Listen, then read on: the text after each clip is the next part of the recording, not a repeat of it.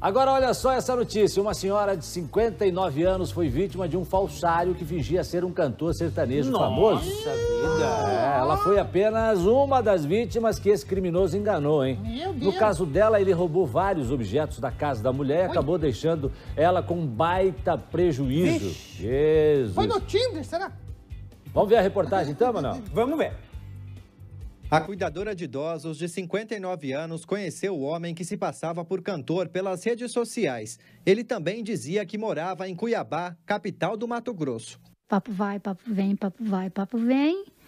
E ele queria me conhecer. Aí, no entanto, eu falei: ah, não tem nada demais, né?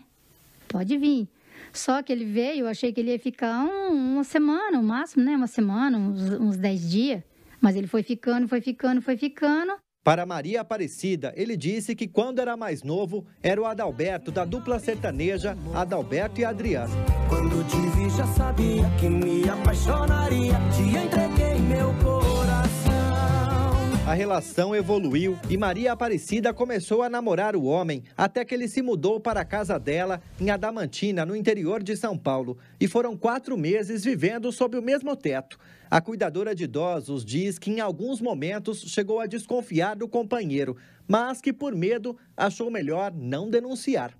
Ao retornar do trabalho no dia 12 de fevereiro, a vítima encontrou uma carta do suspeito com alguns xingamentos e ainda acusando ela de ter um amante. Quando deu uma olhada pela casa, ela percebeu que ele tinha levado alguns pertences, inclusive o cartão de crédito que foi utilizado para fazer uma compra de 600 reais em um supermercado da cidade. Depois disso, o falso cantor não foi mais visto. Como as desconfianças aumentavam diante do sumiço do ex-companheiro, Maria Aparecida resolveu fazer uma pesquisa na internet e encontrou a foto dele com o nome de Silvio Antônio Polac.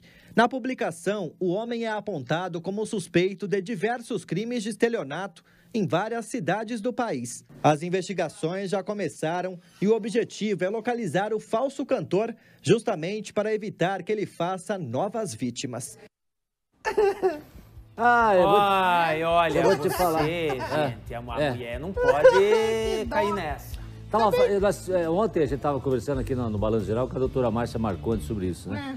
O que que faz? Às vezes a carência das pessoas leva ela, é leva, a carência leva as pessoas É a, a buscarem alguns contatos, relacionamentos na internet Sim. e acabam se envolvendo com pessoas Sim. erradas, sem saber, né? Da E eu vou te dizer mais, Jasso e Judique. É. Eu acho que as pessoas estão mais carentes nessa época. Ah, e agora pessoa muito tem- mais. né? Não pode sair de Então, casa, não é. pode Mas a pesquisa tem que ser feita antes, não depois da porta É, arrombada. e, e sabe o que me chamou a atenção? Ele pegou uma dupla que ninguém nunca ouviu falar. Ah, eu ouvi Porque, falar. claro, que ele não ia pegar uma, uma dupla conhecida, ele não ia. Nossa, Adalberto e Adriano, É um essa dupla sucesso, existe, então. cara. Sucesso. A dupla existe. Adalberto Porque o E ele todo, mas um você viu ele todo, todo, com, com, com tinta no cabelo, É. cabelo roxo. Ah, não, ele tá com cabelo preto, tem uma que tá com cabelo roxo. É. Mas tem que cuidar, né? Pose de galã. Pose de galã, Pose de galã. é o José Maier da, da- Ah, não, é da concorrente, não pode falar. Eu acho que não é mais. Não é? Acho que não é mais. Deu aquela coisa, É, lembra? um monte de gente embora Deu lá. aquele problema. Eu acho que não é mais também. Mas Agora, tem que se cuidar. É o seguinte, Eu cada gostei da vez que- cidade dele que ele nasceu. Hã? Gostei da cidade que ele nasceu. Qual? Qual que é? Tucuruvi. Tucuruvi. Tucuruvi. Agora, o detalhe é o seguinte: quando a gente mostra essas reportagens, sempre é bom ficar o alerta Sim. para as mulheres, mas também para os homens. Pros homens. Também. Tem Com muito homem que certeza. também se deixa levar. Às vezes tem aí uns casos aí que os caras recebem uns telefonemas, umas fotinhas bonitinhas. Aham. né? Os nudes. Aí vem os nudes, aí, Os o cara nudes. manda, aí o cara manda nudes também. Aí quando o cara manda nudes, ó. Ah, já era. Toma. Aí, aí já Toma. era. É. Né? Deus o livre. É, tem, gente, tem gente que não pode... perguntaram qual, qual que é o gesto? Não, quando o Ah, cara manda nudes, daí ó.